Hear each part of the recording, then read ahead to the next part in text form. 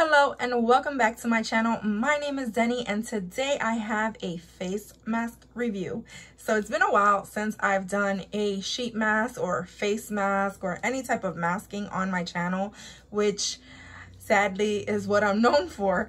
But nonetheless, um, I do want to get back to doing that. And today I'm going to be featuring a mask by 111 Skin or 111 Skin. I'm not sure how they go by, but in any case, I want to try this mask because this one right here is a $35 mask and a pack of five of these I think either retails for 160 or 135 I'm not sure but either way that's super expensive and I'll put the price in down below. Uh, let's go ahead and check out what this face mask is about. So like I mentioned before this is the 111 skin Harley Street, London is what it says here. This mask is supposed to diminish the appearance of fine lines and wrinkles, reinforces and protects skin barrier functions. The 24 karat gold enhances skin radiance to brighten and even skin tone. So this is 24 karat gold. How about that? It says it rejuvenates and nourishes a lackluster skin. So this is a rose gold brightening facial treatment mask. And um, here you have it. So let's go ahead, read some of these directions and also read what it says on the back before I put this on my face. This says the advanced structure of the 111 hydrogel mask enhances absorption of moisture to create a protective barrier that keeps skin perfectly hydrated. Excellent. The hydrogel mask in combination with 24 karat gold and damask rose extracts works in powerful synergy to brighten, firm, and optimize moisture levels. I'm super excited that this is a moisturizing mask as well as uh, to brighten the complexion because I do have some areas that I would like to brighten. But I will say I hope to see a difference. Usually with face masks, you have to use them a couple of times before you can see some really good results. Uh, so I'm wondering for the hefty price tag, is it worth getting something like this to use once or twice or even like five times? Will you see results? We're going to find that out today. So the directions on here are to cleanse your skin thoroughly, which I already did. Uh, remove the protective film from both sides so it's a, it has like sheets in between. Apply to the middle apply the middle sheet evenly onto your face and keep the eye and mouth mouth area clear so don't get it in your mouth and then it's supposed to be on for 20 minutes and then you remove and let your skin absorb the rest of the essence gently and then follow with your regular regimen or your 111 skin regimen.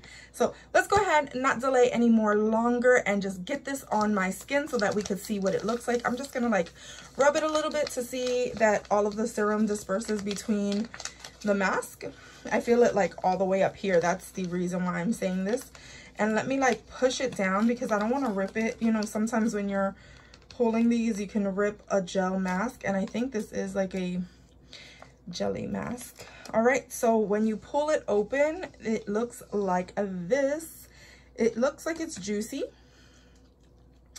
And basically, you'll see it has two layers. So there is the back layer, which is the white layer, and a uh, the other layer, which is a clear film. So I'm actually just going to peel off the white layer from the back. Alrighty, let's get this on the back from the back off of here. And I'm going to leave it on the clear one. Why? Because I'm going to use the clear as a guide, okay, to put it on. Mm -hmm and then I will peel it off of the actual, I just don't want to rip. Uh, oh. Mm -hmm. Oh, and to be honest, I thought this was like a two part sheet mask. So it isn't. Uh, you know what? All of that effort for nothing. I thought I could do this that way. Never mind. Let's go ahead and put this on oh yeah you have to be very gentle because you can rip it very easily So here we have the mask on. I'm trying to fit it to my face good. And I always press it down to make sure that it's on. I love the consistency of jelly masks. They feel really smooth and nice. Um, they're very slippery though. And uh, with these masks, I feel like they're not as, won't dry up as fast. So I like, I like that. I just wish that they fit on my face properly.